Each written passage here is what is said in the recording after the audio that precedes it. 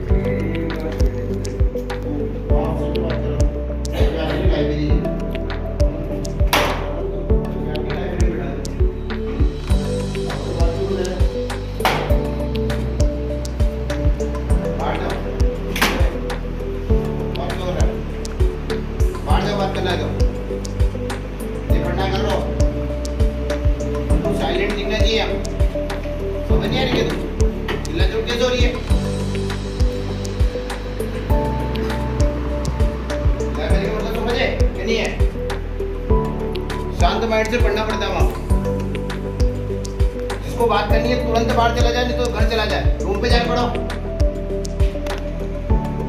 क्या पढ़ने के लिए आया अपन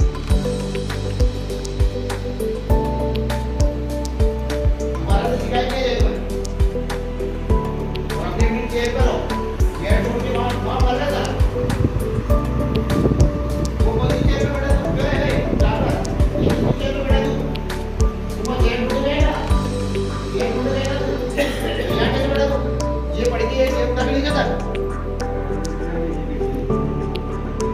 इतनी जगह पड़ी उठा के ले जाए तो पहले नहीं बैठ सकता था?